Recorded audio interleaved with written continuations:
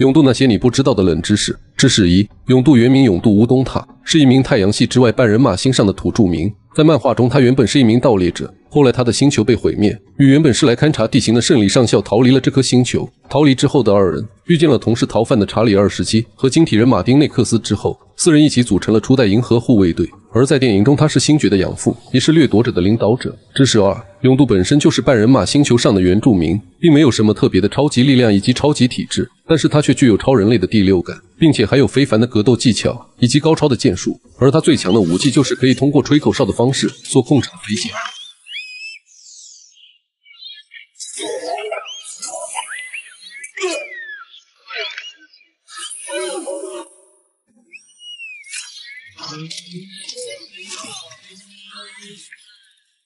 后来，这支箭在《银河护卫队二》中，他为了救星爵死去之后，传给了他忠实的助手克拉格林。知识三，在电影中，永渡作为星际猎人的领导者，只要雇主给得起价钱，他都会毫不犹豫的去做，从来不论好事还是坏事。而当初从地球上抓走星爵，是因为他那时接了一个在各个星球上抢夺小孩的任务。不过，永渡却在抓走星爵之后，并没有交给一哥。而是把星爵当做自己的孩子来抚养，所以把星爵当做亲生儿子对待的勇度，即使在银护一里，星爵因为宇宙灵球背叛了他，他依然选择原谅星爵。这是一项心狠手辣的勇度唯一温柔对待的人，甚至在银护二里，为了救下星爵牺牲自己，把唯一的一件太空服给了他。知识四：虽然永渡有着一身显著的蓝色皮肤以及一嘴参差不齐的牙齿，但是他却是一个喜欢收藏各种小玩偶的大佬。这点从他飞船上摆放的各种玩偶就看得出。甚至在银护一里，星爵等人合力打败罗南之后，永渡在手下面前演戏，从星爵手里抢走了宇宙灵球。当时永渡已经知道星爵给他的肯定是假的，但还是忍不住打开来看，